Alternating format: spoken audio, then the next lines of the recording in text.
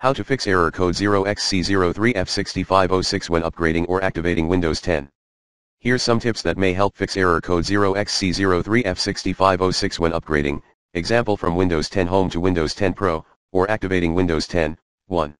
Open Registry Editor, then go to computer backslash h key underscore local underscore machine backslash software backslash Microsoft backslash Windows NT backslash current version.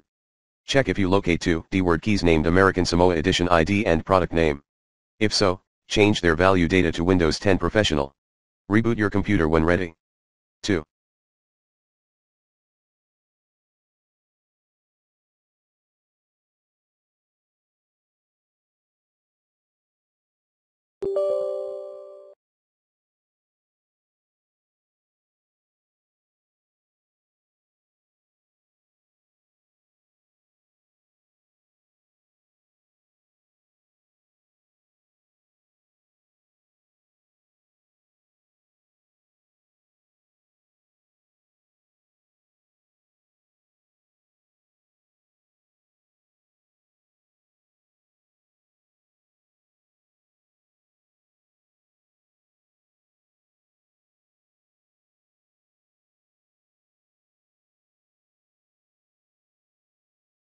Insert an original Windows 10 installation media. Run the following command as admin, setup.exe. Slash auto upgrade slash key your Windows 10 Pro Edition product key. 3. Disable then re-enable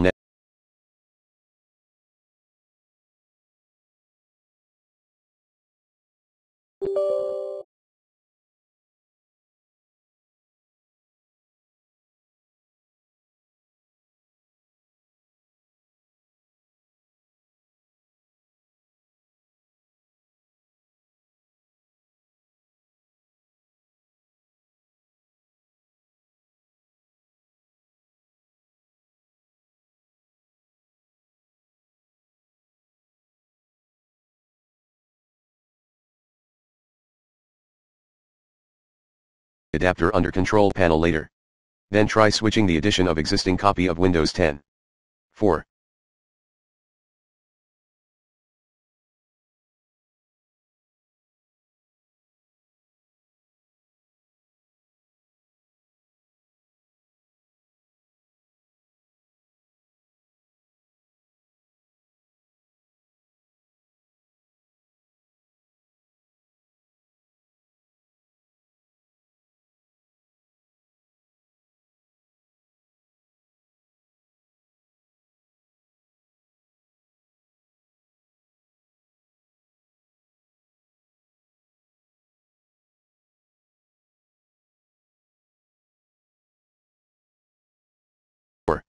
Call Microsoft Technical Support, 1-800-642-7676 or http colon slash slash bit.ly slash 2hbijgh. FYI, they will reset the product key with the PowerShell command on your machine, slmgr slash up, and then reinstall the product key, PowerShell command, slmgr slash ipk your product key here. Note, new motherboard equals a new computer. New computer need a new Windows 10 or a transfer of a retail key. 5. Try running the activation troubleshooter in Windows 10 settings.